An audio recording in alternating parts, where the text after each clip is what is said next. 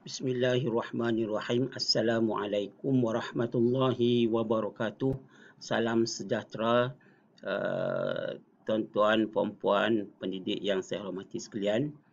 Pada kali ini, dalam uh, video ini, video siri 1 2021, uh, kita akan membincangkan tentang pengenalan kepada kapasiti pedagogi pembelajaran bermakna uh, versi 2.0.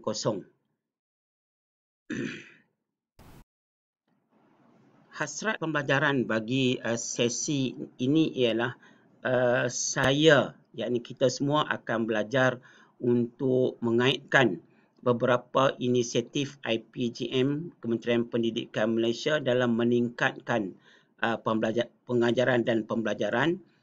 Uh, seterusnya juga kita akan belajar untuk menghayati uh, kapasiti pedagogi atau pembelajaran bermakna ataupun KPPB dalam kuliah dan dan juga dalam melaksanakan tugasan uh, bagi uh, pelajar-pelajar IPG.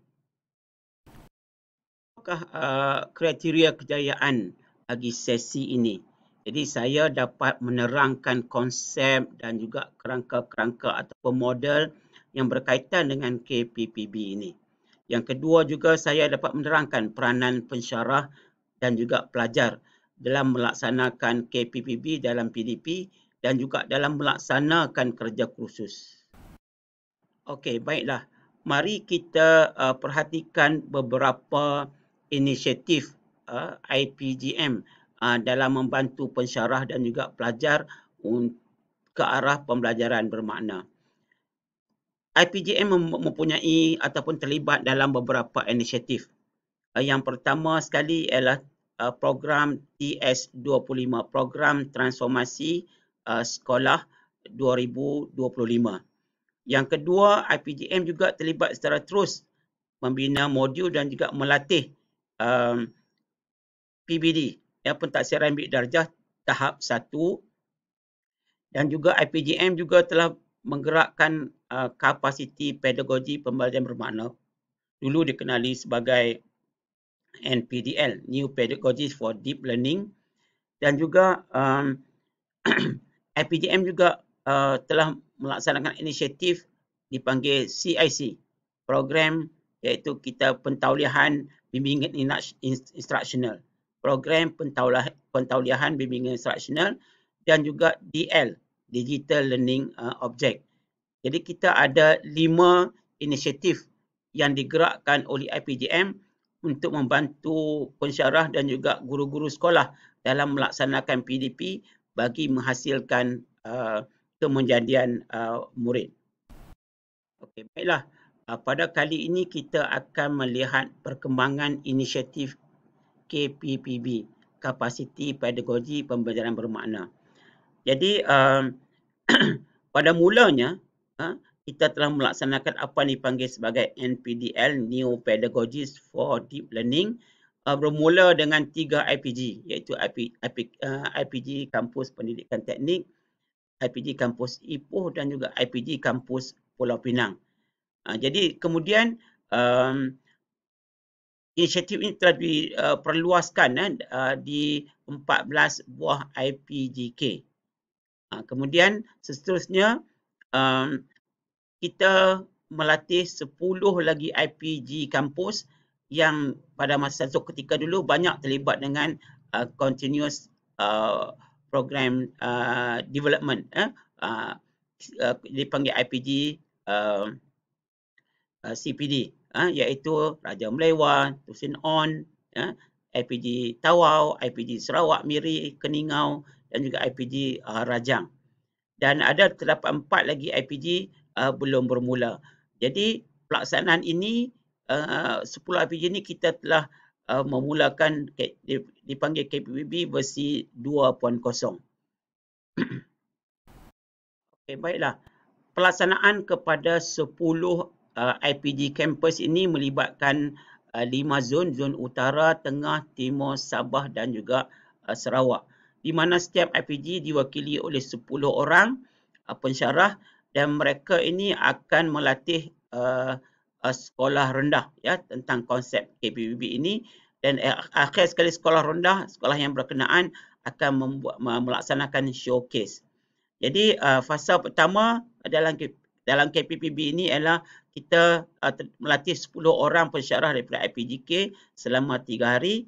Kemudian dalam fasa yang kedua uh, tahun uh, 2020 uh, tahun lalu kita melaksanakan COC coaching of coaches dalam kalangan guru mata pelajaran dan juga guru besar. Itu pun selama uh, 3 hari uh, sehingga mereka boleh uh, mampu untuk melaksanakan uh, showcase.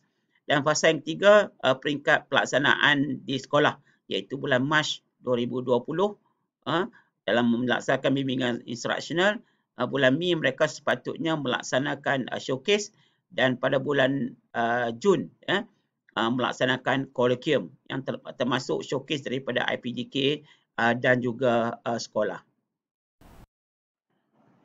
Jadi ringkasnya perluasan um, KK, KPPB uh, versi 2.0 ini iaitu kita telah mula pada tahun 2018 uh, diperluaskan pada 2019 di IPG 14 IPGK pada tahun 2020 kita luaskan lagi di 10 IPGK uh, CPD dan juga seterusnya kita akan kembangkan uh, pelaksanaan KPB versi 2 ini sehingga semua 27 uh, IPGK telah mendapat pendedahan dan dapat melaksanakan KPPB ini dengan jayanya di IPG dan juga boleh dikembangkan di uh, sekolah.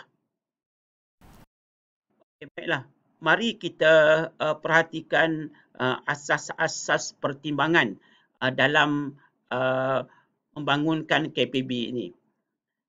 Jadi uh, seperti mana yang kita sedia maklum, uh, program transformasi sekolah ataupun TS25 ni telah bermula pada tahun 2015 dan uh, TS program TS25 ini mempunyai kerangka sendiri iaitu kita telah lihat ini inilah kerangka uh, pelaksanaan program TS25 di mana uh, kita ada uh, uh, kita katakan elemen uh, berpegang kepada dokumen standard uh, pentaksiran dan juga pedagogi jadi uh, kita berharap tiga elemen ini uh, akan dapat membantu uh, membangunkan kita katakan pembelajaran bermakna dalam kalangan pelajar dan juga murid.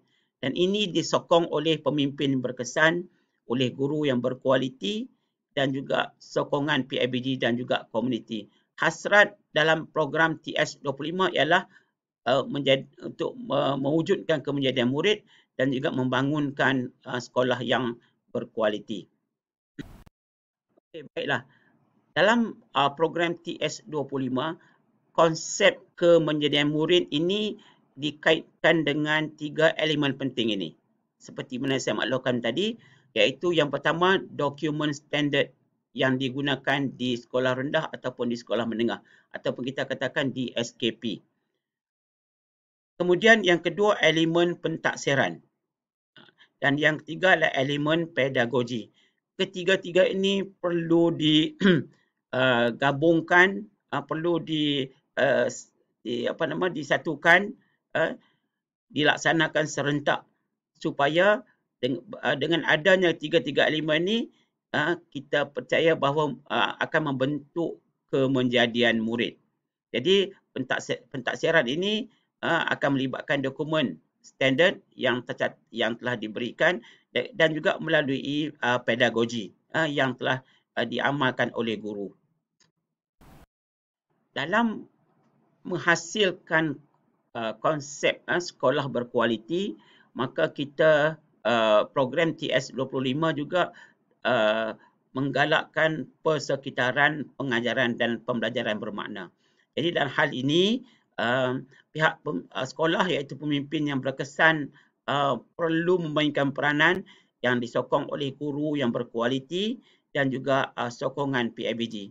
Jadi persekitaran ini akan membantu dan juga mendorong pelajar uh, belajar dalam suasana uh, pembelajaran bermakna.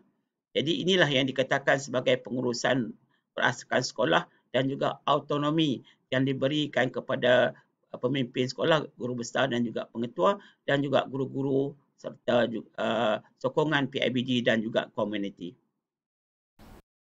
Okay, baiklah. Pengoperasian TS25 uh, ini kita dapat lihat bahawa um, task force daripada Kementerian Pendidikan Malaysia telah pun merancang, uh, membina dan juga melaksanakan uh, uh, tugasan uh, menyediakan kerangka yang mantap. Kemudian juga telah disokong oleh uh, JPN, Jabatan Pendidikan uh, Negeri dan juga Uh, pejabat pendidikan daerah dan juga diberi sokongan kuat oleh rakan uh, pendidikan rakan elit kita panggil rakan elit yang terdiri daripada IPG, IAB, uh, ELTC, SIP dan juga SIC Plus. Jadi uh, semua rakan ini membantu pengetua guru besar permukanan dan juga pihak sekolah untuk melaksanakan um, uh, program TS25 yang juga meng, uh, mengarah kepada kemenjadian murid iaitu dalam melaksanakan pembelajaran bermakna. Ringkasnya intipati uh, pelan pembangunan pendidikan Malaysia yang dicatatkan dalam uh, buku uh, yang tebal ini uh, ada dua saja iaitu usaha untuk menjadikan setiap murid uh, setiap murid iaitu mereka perlu uh, digerakkan supaya melalui pendidikan kita kemenjadian murid itu berlaku. Kemenjadian murid ini berlaku apabila guru memahami dengan jelas mempunyai kejelasan yang tinggi tentang dokumen standard, tentang pentaksiran yang perlu dibuat dan juga tentang pedagogi uh, uh, dalam pedagogi yang diamalkan dalam bilik darjah. Jadi tiga-tiga ini perlu digarap supaya dapat membentuk kemenjadian murid. Yang kedua bagi setiap sekolah yang berkualiti, sekolah yang berkualiti perlu pemimpin yang berkesan, guru yang berkualiti dan juga sokongan. Komuniti perlu memainkan peranan bagi mewujudkan persekitaran pengajaran dan pembelajaran uh, bermakna. Okay. Uh, baiklah, apakah trust TS25 ini? TS25 uh, punya empat trust yang utama. Yang pertama ialah merangkai titik-titik. Uh, iaitu kita menghubungkan uh, uh, apa nama uh, elemen-elemen dalam uh, pengajaran uh, uh, berusaha menghubungkan uh, peranan uh, pihak sekolah, peranan IPG, uh, peranan uh, IAB dan semua institusi yang terlibat untuk membantu membangunkan sekolah. Yang kedua, trust utama adalah menggerakkan pembelajaran bermakna ataupun deep learning. Uh, yang ketiga, uh, mengekalkan pembudayaan ataupun perubahan budaya pembudayaan sekolah paling minimum selama tiga tahun untuk membudayakan sekolah berkualiti dan yang keempat hasrat ialah menghasilkan kemenjadian murid ataupun kita panggil student outcome.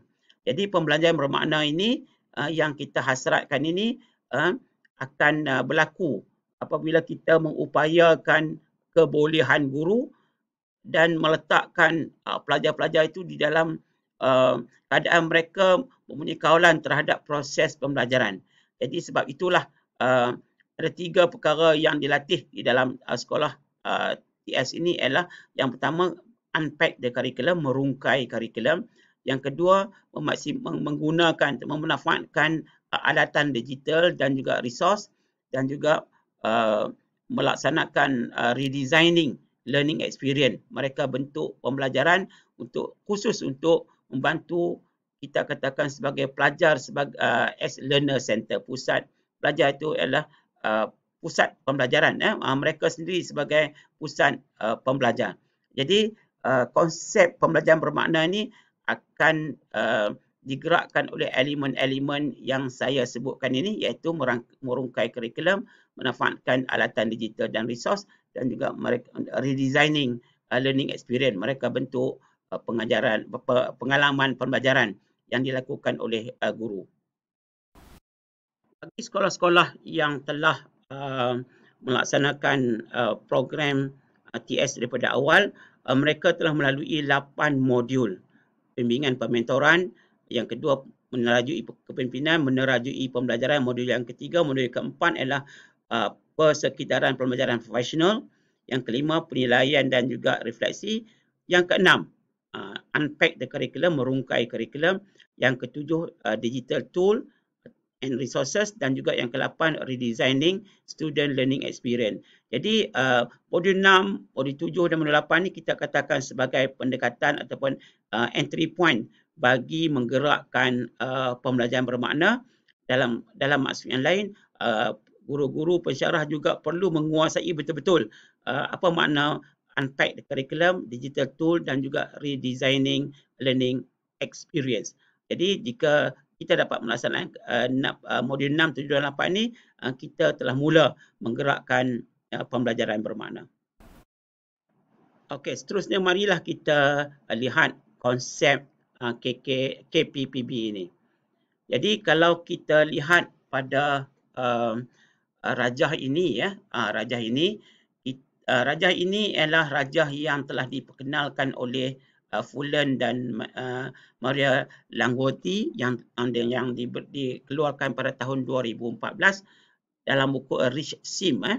Uh, how deep how pedagogies uh, find deep learning. Uh, tuan-tuan puan-puan boleh uh, memuat turun uh, secara percuma uh, buku ini.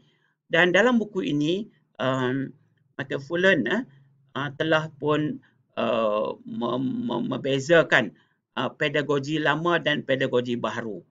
Ya, dari aspek uh, hasrat pedagogi lama sebenarnya ialah untuk uh, penguasaan kandungan dalam kalangan uh, uh, murid-murid ataupun pelajar. Sementara pedagogi baru ialah untuk mewujudkan deep learning. Kita gunakan istilah pembelajaran bermakna. Jadi kalau kita lihat pedagogi lama, uh, guru juga mempunyai pengetahuan tentang ICT guru mempunyai kapasiti pedagogi bermaksud guru mempunyai kebolehan pengajaran menggunakan pelbagai uh, strategi uh, dan guru menggunakan pengetahuan kandungan. Jadi ketiga-tiga perkara ini telah pun digabungkan dan uh, digunakan sepenuhnya untuk membantu murid menguasai kandungan dan pada akhir uh, hasilnya iaitu kita akan lihat uh, pelajar uh, tentang tahap penguasaan kandungan bagi setiap pelajar. Tetapi anjakan telah pun uh, berlaku ya dalam uh, pedagogi baru ini di mana uh, dalam pedagogi baru ini um, guru menggunakan kapasiti pedagoginya, keupayaan dalam bentuk uh, teknik, uh, teknik dan pedagogi uh, yang ada yang berkesan dan bersama-sama bersama-sama eh, bersama dengan dengan murid untuk mencipta dan menggunakan pengetahuan baharu uh, dalam kehidupan. Jadi uh, murid ini sentiasa uh, dicabar uh, dalam pembelajaran uh, bersama-sama dengan guru dan juga ataupun pensyarah untuk mencipta dan menggunakan pengetahuan baharu dalam kehidupan yang dirancang yang dirancang. Jadi uh, guru dan murid juga bersama-sama menguasai dan meneroka kandungan bukan setakat murid saja seperti yang berlaku dalam uh, pedagogi lama tetapi guru juga perlu menguasai dan meneroka kandungan uh, uh, yang terdapat di dalam di dalam uh, dokumen standard itu. Dan perkara ini disokong oleh teknologi ubiquitous teknologi yang digunakan uh, dalam pada bila-bila masa dan di mana saja ha, ha, dan pembelajaran berlaku melalui teknologi ini pada bila-bila masa dan di mana saja uh, 24 7 24 jam sehari 7 hari seminggu. Jadi ini disokong oleh teknologi ini. Jadi dengan um, uh, menggunakan prinsip ini uh, kita, uh, maka Michael Fullen telah berjaya menunjukkan bahawa akan berlaku uh, pembelajaran bermakna uh, dalam kalangan um, uh, pelajar-pelajar. Dan pembelajaran bermakna ini akan lebih memberi kesan kepada pelajar berbanding dengan penguasaan kandungan. Jadi pembelajaran bermakna ini uh, akan membentuk akan membentuk uh, keterampilan kompetensi pelajar. Okey, baiklah. Kalau tuan-tuan perempuan membaca buku Deep Learning, Engage the World, Change the World oleh Michael Fullen dan rakan-rakan, uh, tuan-tuan akan dapat melihat bagaimana mereka telah mendefinisikan deep learning ataupun pembelajaran bermakna ni sebagai kualiti pembelajaran yang menyebabkan dianya melekat pada uh, pelajar itu sendiri ha? dan uh, meningkatkan penlibatan murid ha? uh, melalui uh, personalization mereka sendiri ha? dan juga ownership ada mereka punya uh, ownership mereka sendiri dan uh, sentiasa mengaitkan pelajar dengan dunia sebenar ya um, juga melibatkan uh, nilai-nilai spiritual. Uh, sentiasa pembelajaran sentiasa disokong dan membina kemahiran pengetahuan dan juga keyakinan diri dan juga uh, uh, efekasikan diri. Di samping itu pembelajaran bermakna akan membentuk hubungan antara guru pelajar uh, keluarga dan juga komuniti dan dan juga mendalamkan uh, uh, apa ni hasrat ataupun kehendak manusia ni untuk menghubungkan dengan uh, manusia-manusia lain atau yang lain eh untuk melakukan uh, kebaikan. Jadi ini antara beberapa ciri-ciri yang di, telah disebut dalam buku Deep Learning uh, Engage the World Change the World dan kita boleh merujuk buku ini dengan lebih uh, mendalam lagi. Okey, baiklah. Uh, mari kita lihat uh, anjakan peranan pensyarah IPG. Jadi uh, kita telah dimaklum tadi, saya telah terangkan bahawa TS25 ada empat teras uh, yang utama merangkai titik, uh, kemudian ada murid, pembudayaan dan juga pembelajaran bermakna. Jadi um, uh, pensyarah IPG uh, merupakan rakan elit yang dapat membantu sekolah untuk menggerakkan pembelajaran bermakna. Jadi uh, kapasiti pedagogi pembelajaran bermakna yang kita ingin bangunkan ini Uh, menggunakan uh, model keseluruhan yang ini iaitu uh, ada model inquiry secara kolaboratif secara keseluruhan memerlukan iklim sekolah, iklim daerah PPD, iklim sistem JPN dan juga kementerian. Yang lebih penting ialah di sini um, ada empat elemen yang perlu menjadi amalan pensyarah dan juga guru iaitu pensyarah guru sebagai rakan pembelajaran sama-sama belajar dengan pelajar sentiasa mewujudkan persekitaran pembelajaran eh, dapat memanfaatkan digital dan juga resources dan juga mengaplikasi amalan pedagogi yang mempunyai impak eh, yang tinggi. Diharapkan empat amalan guru ni akan membangunkan pembelajaran eh, bermakna. So, marilah kita lihat apakah entry points ataupun EP dan juga model-model ataupun kerangka yang terdapat dalam uh, pembelajaran bermakna ini. Jadi kalau kita dapat gambarkan ya perjalanan pembelajaran bermakna ini mempunyai beberapa entry point ya. Yang pertama sekali uh, kita katakan entry point ini uh, uh, yang menuntut pada kejelasan guru ya tentang kurikulum. Yang kedua tentang elemen inquiry kolaboratif. Yang ketiga tentang model reka bentuk pembelajaran murid model pembelajaran murid yang sini. Kemudian yang ini adalah uh, model reka bentuk pembelajaran pensyarah uh, guru pensyarah dan yang keempat adalah uh, kerangka berkaitan dengan penggunaan teknologi. Yang kelima akhir sekali kita nak melihat tentang uh, pem, uh, pembelajaran bermakna iaitu kompetisi 6C uh, yang kita akan hasilkan dalam uh, kalangan pelajar. Jadi ini merupakan perjalanan pembelajaran bermakna yang kita sebagai guru dan juga pensyarah perlu menguasai setiap entry point uh, yang ada ini. Okey, baiklah. Sebelum kita berbincang tentang entry point yang utama iaitu EP00 ini, marilah kita melihat tentang model penlibatan murid. Jadi, model penlibatan murid ini melibatkan guru, kurikulum ataupun kandungan ataupun di SKP dan IPG kita katakan sebagai MK dan juga murid ataupun pelajar di sini. Jadi, guru apabila mempunyai um, uh, kurikulum, uh, guru perlu ada kejelasan. Uh, jadi apa kehendak kurikulum ini? Uh, supaya guru dapat merancang dan memenuhi kehendak kurikulum. Jadi kejelasan ini sangat penting dan telah pun dilaksanakan, telah pun dibuat kajian ya uh, oleh John Hattie dan dipanggil mempunyai guru yang punya kejelasan uh, kejelasan ini akan banyak punya kesan kepada pengajaran dan pembelajaran. Yang kedua ialah murid dengan kandungan iaitu kita sentiasa uh, memberi cabaran kurikulum ini. Uh, cabaran kurikulum kepada murid-murid. Uh, kalau di sekolah kita ada tahap 1, 2, 3, 4, 5 dan 6 dan kita perlu mencabar murid sehingga mencapai tahap 6. Jadi cabaran ini perlu dilaksanakan dalam aktiviti pengajaran dan pembelajaran. Dalam melaksanakan uh, tugas PDP ini, guru perlu punya perhubungan yang baik dengan murid. Berbagai cara boleh diwujudkan untuk uh, uh, mengadakan perhubungan yang baik. Jadi uh, jika kesemua ini berlaku dengan baik, barulah kita katakan pelibatan yang optimum yang berlaku di sekolah di mana guru, murid-murid dan kurikulum akan digerakkan bersama-sama dan uh, kita akan dapati uh, kesannya kepada pelibatan murid. Jadi tuan-tuan dan puan boleh membaca uh, model ini dalam buku yang di yang ditulis oleh Fisher dan rakan-rakan yang bertajuk Engagement by Design Creating Learning Environment Where Students Thrive. Jadi dengan kepahaman inilah barulah kita mula melihat di sini. Entry point yang yang yang kosong ini iaitu uh, kepahaman kejelasan guru akan dilihat di mana guru akan tahu apa yang pelajar perlu tahu. Apa kemahiran yang perlu uh, dapat dilaksanakan, dilakukan. Jadi ini dikatakan kejelasan. Kemudian kejelasan ini juga guru akan menterjemahkan dalam bentuk big idea.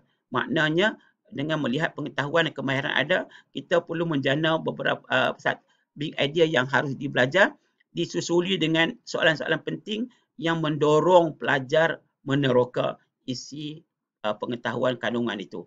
Dan isi, di sini guru perlu me, pensyarah juga perlu melaksanakan backward design iaitu uh, merancang kurikulum kemudian uh, melihat pentaksiran barulah dilaksanakan pedagoginya kurikulum pentaksiran dan pedagogi yang dikatakan sebagai backward design dan uh, memahami bahawa uh, dalam pelaksanaan ini mereka perlu guru-guru perlu memastikan supaya pelajar mempunyai meningkatkan kompetensi pembelajaran bermakna 6C uh, yang yang telah ditetapkan. Dan dalam pelaksanaan ini kita mengambil kira uh, suara uh, pelajar uh, dan juga suara uh, dan pilihan mereka. Apa yang mereka akan buat untuk memenuhi big idea dan juga menjawab soalan-soalan penting EQ uh, yang mengaitkan dengan isi kandungan pembelajaran. Dan juga mereka perlu mendapat maklum balas dan juga penyemakan ya, daripada guru, daripada rakan pelajar, daripada komuniti.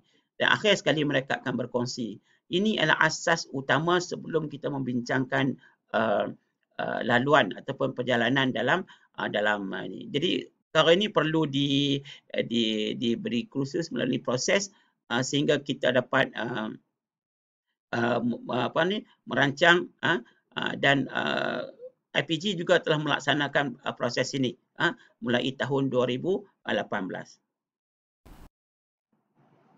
Okey, baiklah. Jadi dalam, dalam entry point yang pertama ini, kita menggunakan kitaran inquiry kolaboratif. Uh, jadi, kitaran inquiry kolaboratif ini melibatkan empat fasa. Uh, mentaksir. Apakah mentaksir ini? Mentaksir kompetensi 6C yang sedia ada dalam kalangan pelajar atau murid. Yang kedua, mereka bentuk uh, pengajaran dan pembelajaran. Yang ketiga, melaksanakan uh, pembelajaran. Yang ke, melaksanakan uh, apa yang mereka bentuk tadi. Yang keempat, mengukur, merefleks dan juga menambah baik uh, amalan yang sedia ada. Kalau kita lihat lagi, maknanya uh, dalam kerangka KPPB kita di IPG ini, kita mentaksir. Uh, sebelum kita mula, kita perlu sepatutnya kita kena tahu apa kompetensi pembelajaran bermakna dalam kalangan uh, pelajar kita. Yang kedua, dengan uh, data yang ada ni, kita boleh merungkai maklumat kursus MK uh, yang terlibat dalam PLO kita dalam CLO dan juga dalam TLO. Ha, program learning outcome, course learning outcome dan uh, learning outcome. Ya, uh, jadi kita boleh melihat ini apa yang kita nak tengok di sini ialah big idea, essential question dan juga uh, backward design yang akan kita uh, gunakan. Ya, kemudian kita menggunakan uh, kita mereka bentuk uh, model pembelajaran pelajar, perhubungan belajar, cara belajar juga aspirasi. Bagaimana kita mem- memanfaatkan uh, kerangka rigor relevant relationship ini dan juga triple E uh, untuk membantu pelajar dalam melaksanakan pembelajaran uh, bermakna ini. Dalam pelaksanaannya sudah tentulah uh, guru pensyarah akan melaksanakan yang katakan model dan bentuk pembelajaran yang kita akan bincangkan nanti. Uh, rangkaian pembelajaran, persekitaran pembelajaran memanfaatkan digital tool dan resources dan juga amalan pedagogi mempunyai impak yang tinggi. Uh, dan juga tentulah Uh, kita menggunakan uh, protokol reka bentuk pembelajaran, rubrik dan juga senarai semak pembelajaran bermakna. Uh, dan kita juga menilai melalui rubrik, rubrik kompetensi, rubrik showcasing seorang pelajar, seorang pensyarah dan juga seorang rakan uh, pembelajaran. Ya. Jadi ini dia katakan empat fasa yang saya sebutkan tadi. Ya. Okey. Okey, baiklah. Jadi um, seperti mana saya bincangkan tadi, kejelasan guru, kejelasan pensyarah sangat penting. Di mana uh, kalau di sekolah, standard kandungan.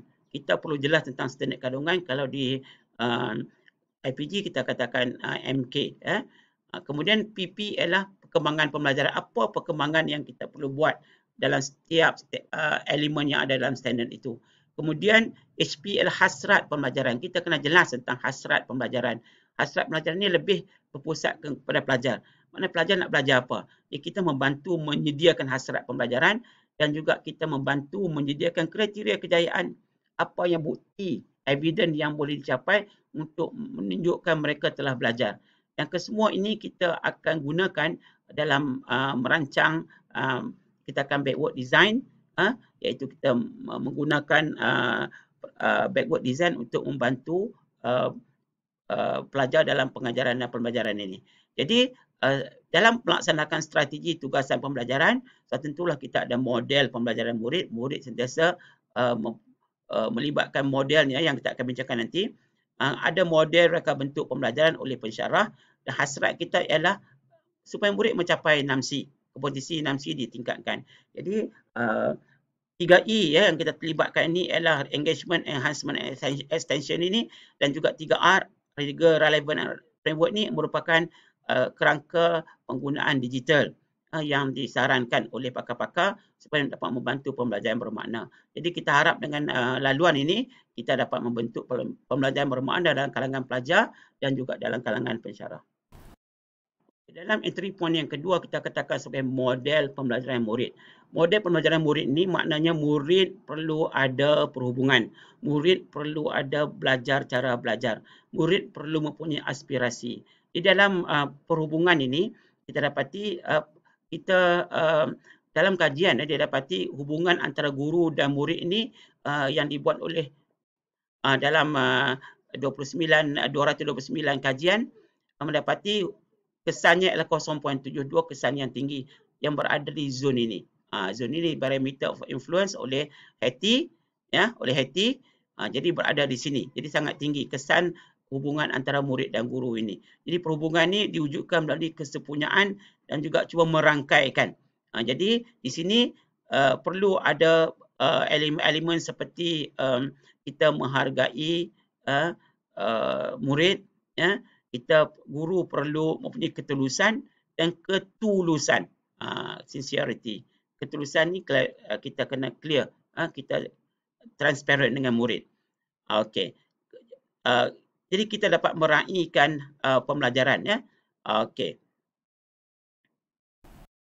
jadi uh, guru perlu mempunyai elemen meraihkan pelajar uh, iaitu kita perlu amanah kita perlu menghargai kita perlu optimis dengan uh, pelajar dan juga kita perlu punya hasrat murni.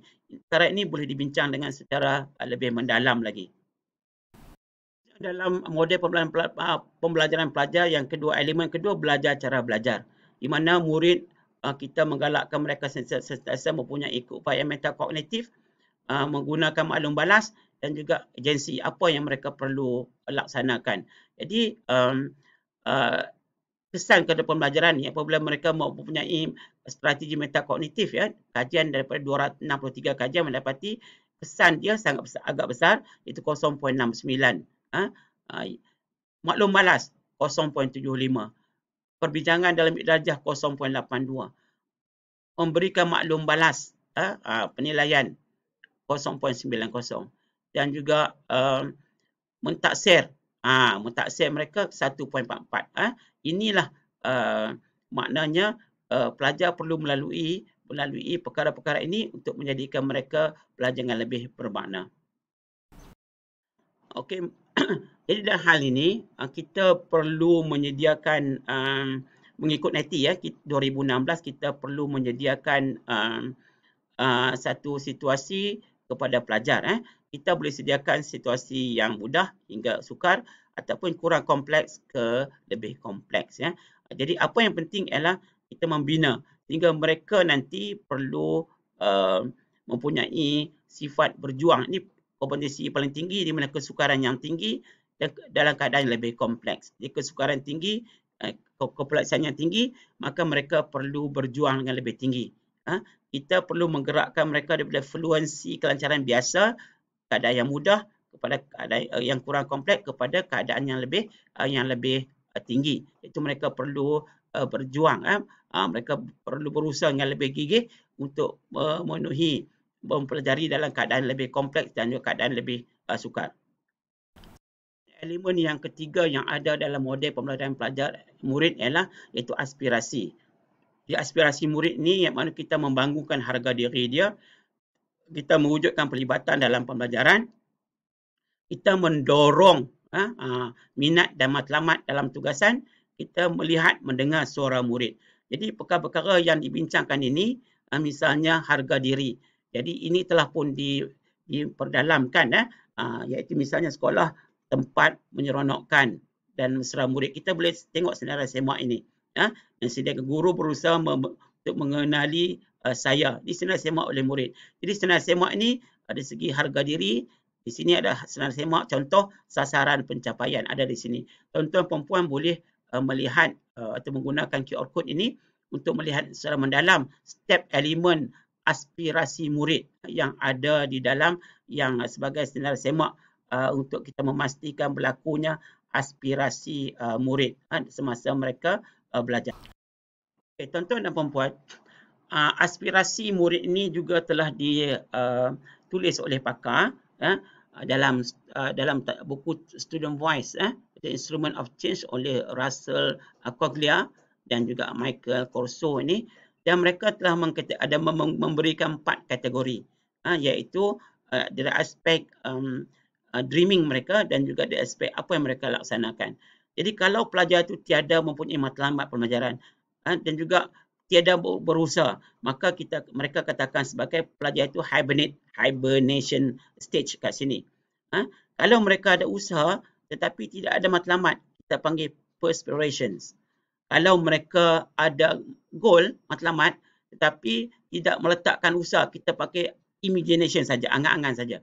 Dan yang paling bagus ialah mereka ada set meletakkan matlamat dan mereka ada usaha. Ini kita panggil uh, aspirasi. Jadi buku ini menerangkan apa makna aspirasi yang uh, perlu ada pada uh, murid. Dalam uh, entry point yang tiga ialah model reka bentuk pembelajaran. Jadi model reka bentuk pembelajaran ini ialah mempunyai empat elemen. Yang pertama uh, rakan pembelajaran. Yang kedua adalah persekitaran pembelajaran. Yang ketiga adalah pemanfaatan digital. Yang keempat adalah amalan pedagogi. Model reka bentuk pembelajaran ini adalah uh, model yang kita katakan keterampilan ke usaha, usaha yang perlu dilaksanakan oleh guru. Empat perkara ini untuk guru ataupun pensyarah. Mana guru perlu menjadi rakan pembelajaran, perlu menyediakan persekitaran pembelajaran, perlu memanfaatkan kemudahan digital dan perlu mempunyai amalan pedagogi yang mempunyai impak yang tinggi. Jadi perkara ini boleh dilaksanakan kerana apa? Kerana kita perlu meraihkan pembelajaran. Jadi empat elemen amanah menghargai murid optimis hasrat murni ini akan berlaku apabila kita uh, meletakkan uh, empat perkara ini dalam mereka bentuk pembelajaran. Perkara ini telah pun dibincangkan oleh Perky dan Novak dalam tahun 1996 iaitu Inviting School Success. Eh a self-concept approach to teaching, learning and democratic practice. Uh, yang tuan-tuan pun boleh baca uh, buku ini. Novak telah mengkategorikan empat jenis guru. Uh, yang pertama sekali, ada guru kurang berhasrat murni, kurang meraihkan pelajar. Uh, ini guru yang ini. Ini ada ciri-ciri dia. Yang mana guru menjauhkan diri dari murid. Uh, ini pun kita perlu lihat dalam situasi sekolah kita. Uh, ada juga guru yang kurang berhasrat murni, tapi meraihkan pelajar ada juga. Dan juga ada guru berhasrat murni tetapi kurang meraihkan. Jadi apa yang kita mahu ialah di sini. Guru uh, mempunyai hasrat murni dan meraihkan pelajar. Inilah kualiti guru yang kita perlukan dalam menggerakkan pembelajaran bermakna. Okey, dalam model reka bentuk pembelajaran juga, elemen yang pertama ialah tentang amalan pedagogi. Jadi amalan pedagogi ini uh, kita perlu uh, maknanya amalan ni perlu dikuasai guru-guru pensyarah perlu melihat apakah pedagogi strategi yang punya impak yang tinggi. Di sini um, ada sebuah buku ditulis uh, 50 strategies uh, to boost cognitive engagement. Buku baru uh, tahun 19 uh, 2019 oleh uh, Stobak. Uh, jadi ini boleh tuan-tuan perempuan boleh uh, membeli dan membaca strategi ini dan boleh berbincang sama-sama rakan. Uh, John Hattie uh, yang telah uh, menggerakkan kita katakan uh, uh, visible learning ini beliau juga telah mempunyai mencanakan beberapa uh, strategi ya yang yang berfungsi untuk menggerakkan um, untuk mengoptimiskan pembelajaran pelajar. Jadi kita boleh rujuk buku ini, kita boleh bincang uh, untuk uh, mendalam uh, lagi. Okey, baiklah. Kalau kita lihat di sini, John Hattie telah menyenaraikan uh, uh, efek saiz kesan, uh, kesan saiz kepada amalan-amalan guru uh, dalam bilik darjah. Misalnya, jika kita mempunyai memberi sentiasa memberi feedback maklum balas 0.73. Maknanya ni warna biru ni warna yang di yang digalakkan. Maknanya uh, dalam zon yang kita perlukan. Uh, mis uh, reciprocal teaching.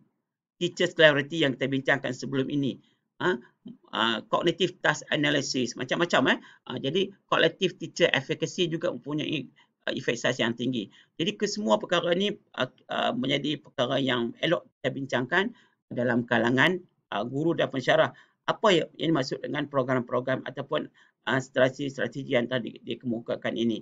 Sebab mereka telah melaksanakan kajian meta-analisis dan mendapati uh, perkara ini mempunyai kesan yang tinggi uh, dalam pengajaran dan pembelajaran. Okey, baiklah. Uh, uh, entry point yang keempat mengenai resource dan alatan digital. Jadi uh, kita uh, mengambil uh, kerangka yang dikemukakan oleh Liscop 2017, Learning First, Technology Second.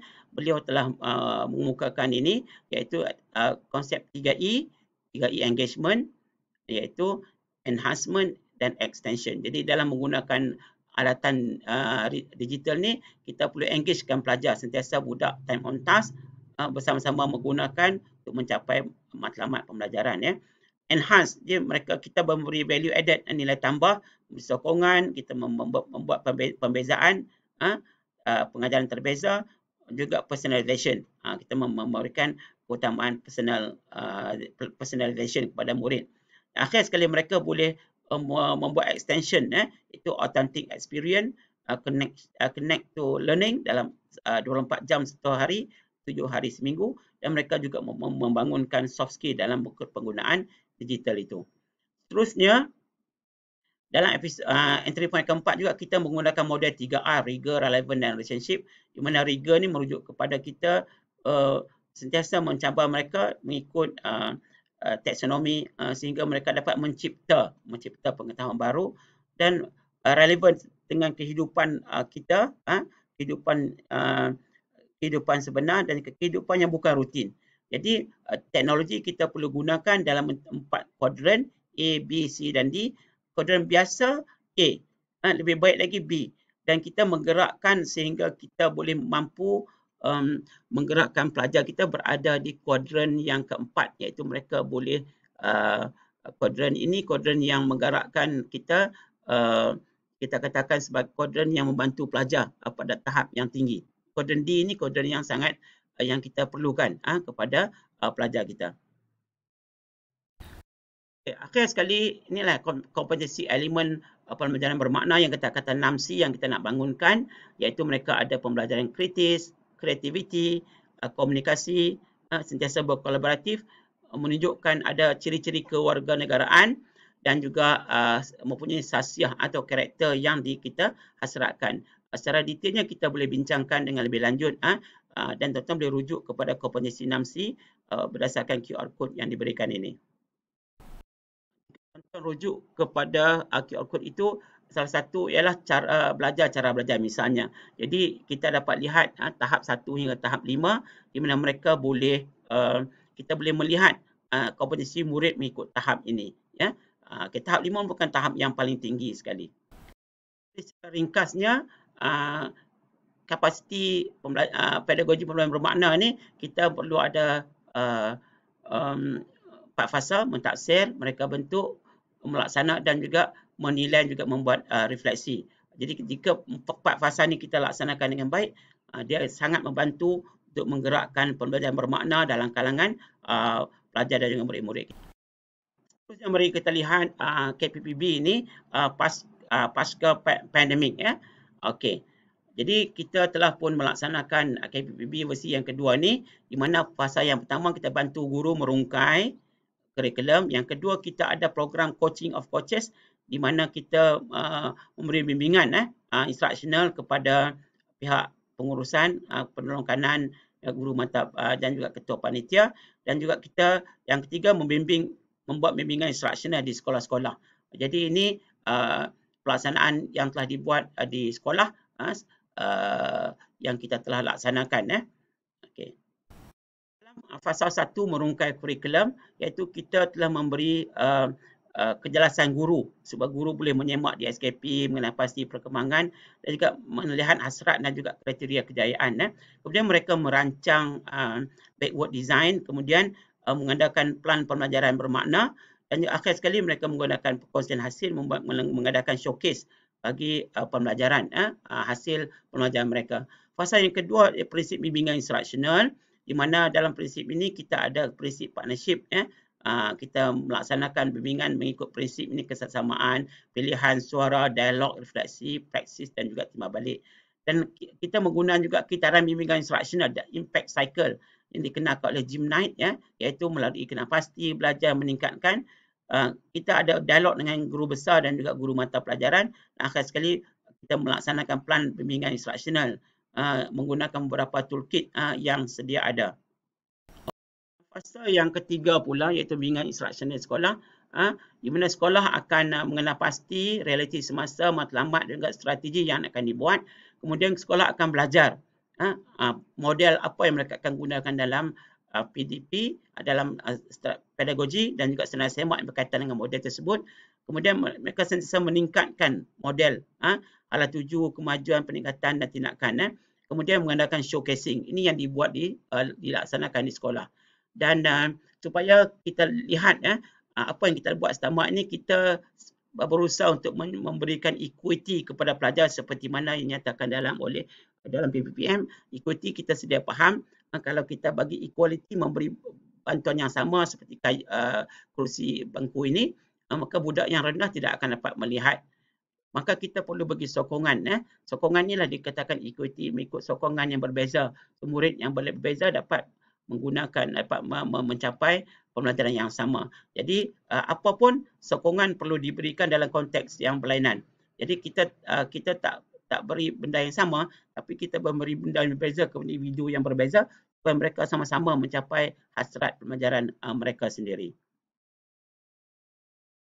Kemudian kita ada uh, mode penyampaian di uh, kita katakan mode hybrid learning model uh, untuk uh, pasca pandemik ini kita mungkin boleh gunakan face to face jika ada peluang personalization masing-masing ya budak ada, ada uh, minat masing-masing blended learning adaptive, adaptive learning tool social distancing and safety uh, flexible schedule remote learning tool. Mungkin beberapa perkara ini kita boleh gunakan eh, untuk melaksanakan uh, pelaksanaan PDP kita dalam dikatakan sebagai hybrid learning model. Ini perkara ini pun boleh kita bincangkan lagi.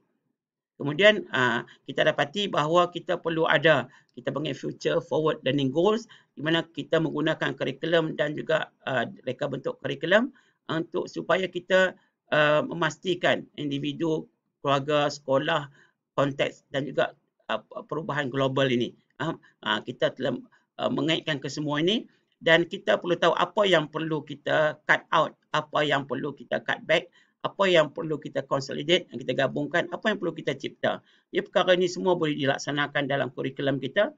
Uh, K-12 maknanya kurikulum sekolah rendah kita ataupun sekolah menengah. Kita perlu melibatkan interdisciplinary, mewujudkan tema atau big idea dan kita, kita berasaskan kepada uh, fenomena yang berlaku dalam kehidupan uh, seharian kita. Jadi, uh, tuan-tuan perempuan boleh baca juga buku ini oleh uh, oleh uh, oleh Fulan eh uh, dalam buku uh, ini kita sebut tentang uh, education reimagine the future of learning uh, iaitu remote to hybrid learning uh, bagaimana dia telah menerangkan tentang zone uncertain zone uh, learning zone dan juga growth zone yang perlu kita kuasai uh, dalam kita katakan navigating the disruption ini. Kita boleh baca, kita boleh bincang dalam uh, PLC kita sesama rakan-rakan kita. Dan akhir sekali kita dapat rumuskan bahawa KPPB ini merupakan inisiatif penting dalam menggerakkan pensyarahan dan guru dalam mengoptimumkan kapasiti pedagogi untuk mendorong pelajar melaksanakan pembelajaran bermakna. Jadi pensyarah dan guru perlu belajar dan terus meneroka untuk membantu dan mencabar pelajar untuk menyelesaikan masalah yang relevan dengan kehidupan uh, mereka. Di IPG, esensi KPPB perlu dilaksanakan dalam kuliah uh, uh, secara bersemuka ataupun tidak bersemuka dan juga dalam pelaksanaan kerja kursus. Jadi saya rasa uh, setakat ini saja uh, penerangan saya mengenai uh, pengenalan kepada KPPB, kapasiti pedagogi, belum bermakna versi yang kedua dan kita harap inisiatif ini dapat uh, di, di uh, mendapat perhatian pensyarah dan guru untuk membantu pelajar berada dalam pembelajaran uh, bermakna. Sekian. Assalamualaikum warahmatullahi wabarakatuh. Terima kasih.